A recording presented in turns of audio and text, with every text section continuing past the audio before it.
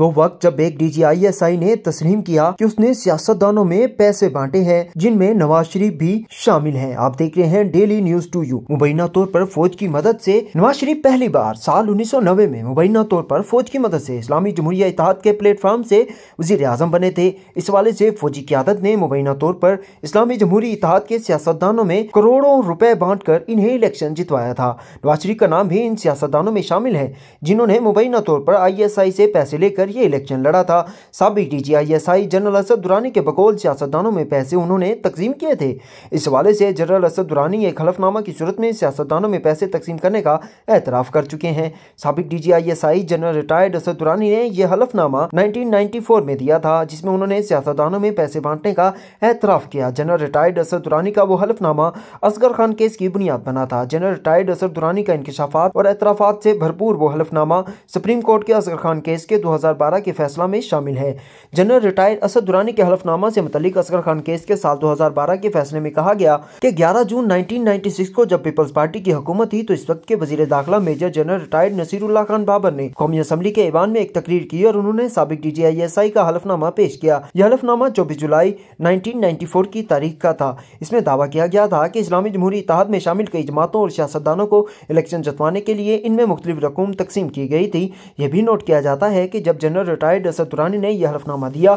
उस वक्त वो बोन, जर्मनी में पाकिस्तान के सफीर की हैसियत से तैनात थे। जनरल रिटायर्ड असद दुरानी की जानब से अपने हलफनामा में बयान किया गया था कि सितंबर 1990 में जब वो डी जी आई एस आई की हैसियत से खिदमत सर अंजाम दे रहे थे तो उन्हें इस वक्त के army chief general Mirza Aslam Beg से अदायत मिली कि इस्लामी जमहूरी इतिहाद की इलेक्शन मुहिम के लिए कराची के चंद बिजनेसमैनों की जानब से दिए गए एहतियात की तकसीम के लिए लॉजिस्टिक सपोर्ट फ्राहम की जाए। जनरल रिटायर्ड असद दुरानी को यह भी बताया गया था कि इस ऑपरेशन को हुकूमत की हमायत हासिल है और वो मसूल शुदा हदायत के मुताबिक काम करे। जनरल रिटायर्ड असद दुरानी के इस बयान हल्फी के मंदरजात कुछ यूँ हैं। हलफनामा में lieutenant general retired Asad Durrani बालिग मुसलमान, जो कि इस वक्त बोन, जर्मनी में पाकिस्तान की सफीर की हैसियत से तैनात हूँ, हलफ देता हूँ और हल्फिया तस्दीक करता हूँ। कि सितंबर 1990 में बतौर डी जी आई एस आई मुझे इस वक्त के chief of army staff general Mirza Aslam Beg, जो कि अब रिटायर्ड हैं, की जानब से हदायत मिली कि इस्लामी जमहूरी इतिहाद की इंतबी मुहिम के लिए कराची के चंद बिजनेसमैनों की जानब से दिए गए एहतियात की तकसीम के लिए लॉजिस्टिक सपोर्ट फराम करो। मुझे बताया गया कि इस ऑपरेशन को हुकूमत की सपोर्ट हासिल है। इन हदायत के मुताबिक मैंने चंद अफसरान को टास्क सौंपे और दर्ज जेल इकदाम उठाए। कराची, कोयटा और रावलपिंडी में चंद कोर अकाउंट्स खोले। यूनस हबीब की जानब से कराची के अकाउंट्स में चौदह करोड़ रुपए की रकम जमा कराई गई। ज़रूरत के मुताबिक रकम को कोयटा और रावलपिंडी के अकाउंट्स में मुंतकिल किया गया। आर्मी चीफ के हुक्म पर या फिर उस वक्त वान सदर में काम करने वाले इलेक्शन सेल की जानब से बर रास्त छह करोड़ रुपए तकसीम किए गए। बकाया रकम को एक स्पेशल फंड में मुंतकिल कर दिया गया। छह करोड़ रुपए की रकम की तकसीम को मुंसलिक कर दिया गया है। Lieutenant general retired Asad Durrani ने अपने इस हलफनामे में बताया था कि दर्ज जेल सियासतदानों और सियासी जमातों में इस हिसाब से पैसे तकसीम किए गए हैं।